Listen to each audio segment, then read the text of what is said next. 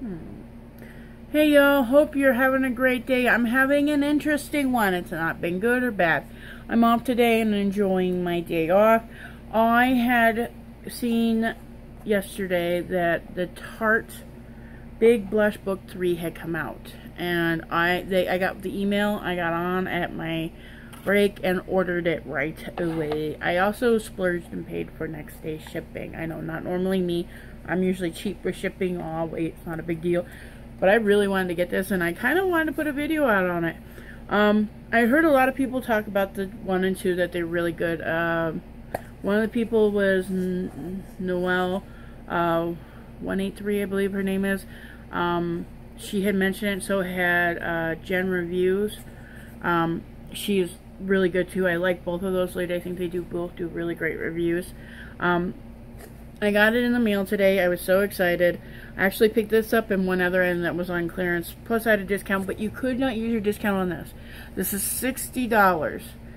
I thought that was a great deal, and it is. You get a lot of really good product, but my comment to the word is cheap packaging. Very cheap packaging. You probably are not going to be able to keep it in this packaging long term.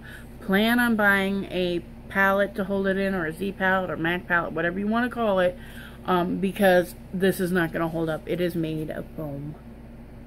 And it's got a simple hinge. The hinge is actually a good hinge. It's a good purple hinge. I wish they'd done cardboard instead of this foam. This is craft foam, by the way, people. It's not going to hold up. With um, this cardboard on the outside edge is like your cardboard that you get your noodles in and your cereal in. That kind of cheap. It'll hold up for short term, but not for long term. And then they just laminated it with a uh, sticker to make it last longer. Um, the design's pretty. I just wish they'd gone with st sturdier cardboard and not this cheap foam. Um, because it does it has a swinging mechanism with that little inch, which I could have dealt with that. That that's not to me that's not cheap. That's actually kind of smart, I think. My cheap problem is is that. Um, by the way, yeah. I've removed two of these already on accident. Um, be very careful. They're not marked on them, so if you get them out of order, and if you don't know exactly which one is, you're going to get your colors and names all mixed up. And you're not going to know what is what. I'm going to have to get a sticky label. I'm going to put it on the back of them and put it into a Z palette because cheap packaging. But $60 for this mini blushes, we get what we get, right? But uh, I kind of wish they got a better packaging on this for sure. Alright, you get, they say you get six blushes, a highlighter, and a bronzer. This bronzer is like a blush on me because I'm so fair toned. If you're a little darker, maybe you could use it, but it's very orange. So I tend to use it like a blush. Um, I'm a little burnt, by the way, people. You probably noticed. My uh, person, uh, I forgot to put sunblock on. I put it on my arms here, and I smeared it on. Got across the nose and underneath the eye. I forgot to get across the dang cheeks. We all have those days, right? One moment! And it is what it is. But we'll get back to the palette that I'm talking about. Sorry, you guys. Off on a personal tangent. Um, yeah, I was swatching them and I could feel the pans literally, they'll start moving around. So I'm going to do finger swatches. Look at that turn. Be careful if you tip it upside down, they will fall out. If you're not careful, especially if they popped out once.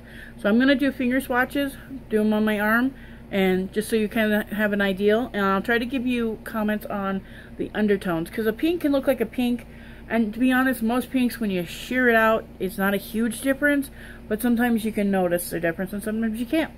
It just depends on the color and how it's sheared out and how you build it. Um, also, the color of your base skin will also affect how blush looks. Um, but yeah, very excited to do this. So the first one, I put I keep putting Spirited on my middle finger.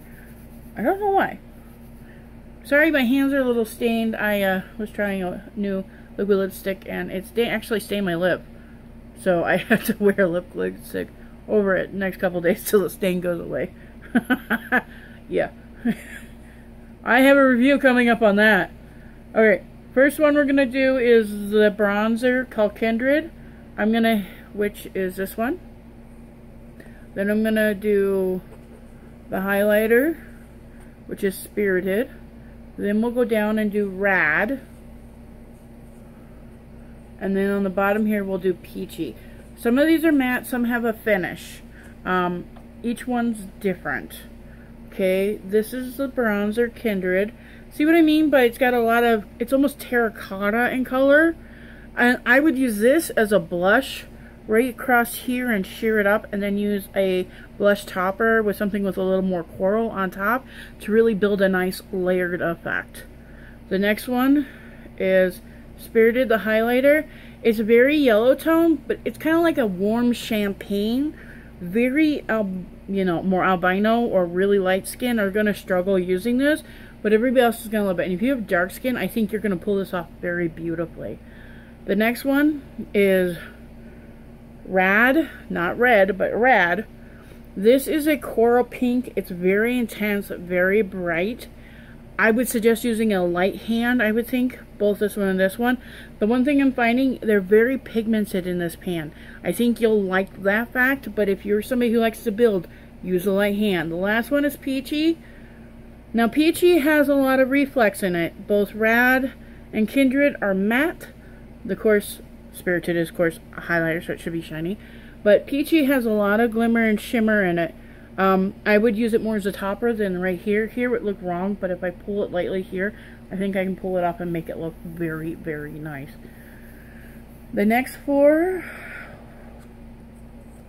okay, I showed all those, was Peachy and Rad, is Mindful. God, I'm so afraid of these popping out, so I'm trying to hold it at an angle, but I'm getting my light. Poised. Lavish. And the last one on here is heated.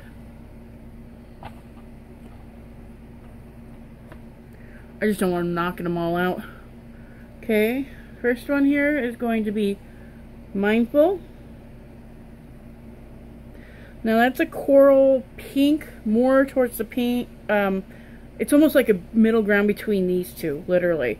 Um, it's not as intense as these two. It's a little more sheer, but it's got a subtle reflex, not true matte. Um, it's very warm toned. Uh, very peachy pink. Like I said, you're going to like it with a touch of coral. Alright, the next one is Poise. This is the only real cool tone pink in there. It is got a hint of under of mauve underneath it. Um, it's mostly flat with a slight sheen, nothing major. The next one is Lavish. Lavish is a matte coral. Touch of pink, but mostly coral. And the last one is Heated. This has a little bit of shimmer to it too. Um, it is truly a cross between peach coral and pink, I think. It's got, it's a really pretty color. It's very warm tone. Anybody with darker complexion is going to love how that looks on their skin. I would have to use a very light hand and I need to pull it up a little bit here. I would use it on days where I want more intense blush like what the sun did to my face today. uh, it is a pretty palette. Do I think it's worth the $60? Yes. I would have rather they charged me 10 more dollars, like 70 and I have a package I can leave it in. Now I've got to buy a Z palette big enough to fit all these in. And I have to go through the hassle of labeling because I don't think this is just going to hold up. I'm going to pull it in and out of my stuff. Um, and I'm just afraid of getting damaged. And like I said, if you tip these over, especially if you pop them out one time, they're not going to stay. They're just going to pop out. So I'm very disappointed in the packaging, but very happy with the product. So, sorry you guys.